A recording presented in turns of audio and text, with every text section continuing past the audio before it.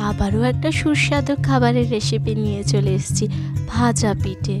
কার না ভালো লাগে তা আবার যদি হয় শাশুড়ি মায়ের হাতের ভাজা পিঠে। গরম গরম মুচমুচে ভেতরে আবার সন্দেশের পুর দিয়া ভাজা পিঠে।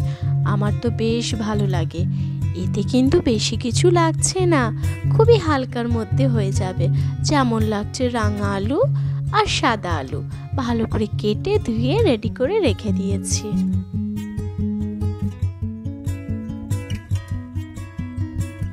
আর নেব মুগের ডাল। মুগের ডালটাকে ভালো করে কাট কড়াইতে ভেজে নেবার পর বেশি কিছু করতে হবে না। কুকারে সব কিছু দিয়ে দিতে হবে, যেমন রাঙা আলু, সাদা আলু, মুগের ডাল, ব্যাস। তিনটে থেকে চারটে সিটি দিলেই হয়ে যাবে। স্বাদ অনুযায়ী নমক হলুদ গুঁড়ো আর ঝাল মিষ্টি না হলে কি জমে, তাই জন্য অল্প লঙ্কা গুঁড়ো। জল দিয়ে বসিয়ে দেবো।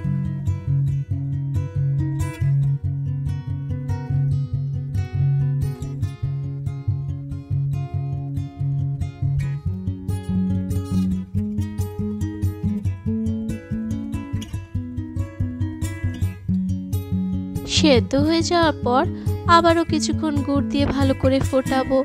গুড় দিয়ে ফোটানোর পর এবার এখানে দেব অল্প আদা বাটা।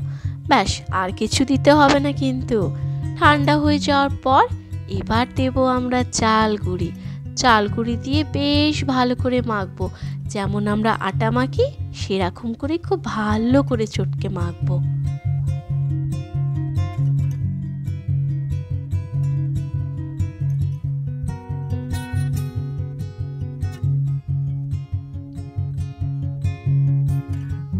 এদের হাতে সব রকম রান্নাই যেন একটু আলাদা হয়, কিন্তু ভারী স্পেশাল হয়। দেখুন, গল্প করতে করতে মায়ের আবার মাখাও হয়ে গেছে, আবার কটা পিঠে তৈরিও হয়ে গেছে। এখানে একটা ভারী মজার জিনিস আছে, একটা আছে সন্দেশের পুর, একটা আছে নারকেলের পুর। আচ্ছা আপনাদের মধ্যে কারা ভালোবাসেন নারকেলের পুর? কারা ভালোবাসেন সন্দেশের পুর? আমার কিন্তু বেশি ভালো লাগে সন্দেশের পুর।